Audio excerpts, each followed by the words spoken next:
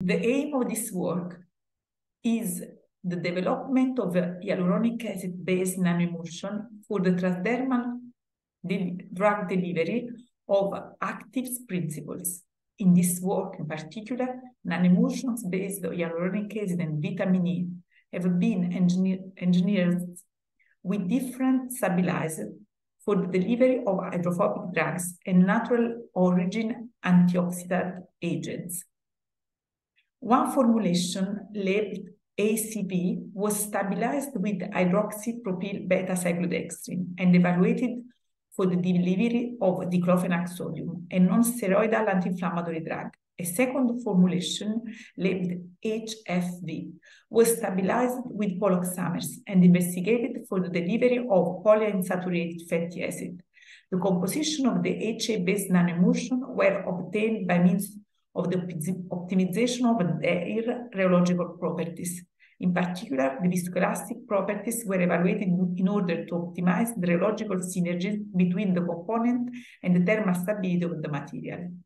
Rheological synergism was assessed calculating the difference between the elastic modulus of the HA-based nanoemulsion and those of, single, of the single components. The positive value of the rheological synergistic parameter highlighted that the establishment of a synergistic cooperative network among the components of the system. Then, biocompatibility was investigated putting the NA in contact with the L929 cells, whose viability was evaluated by means of AlamarBlue assay.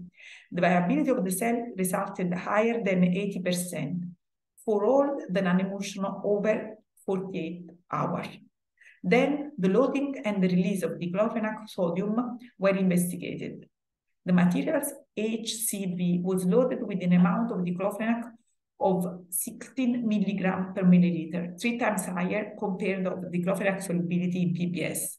Then release tests were performed using a trans transwell with mounted in a cellular cellulose nitrate filter. The results show a complete release across the filter over the eight hours. Altogether, the results highlighted that the new HA-based nanoemulsion represent a tunable platform for the transdermal delivery of actives.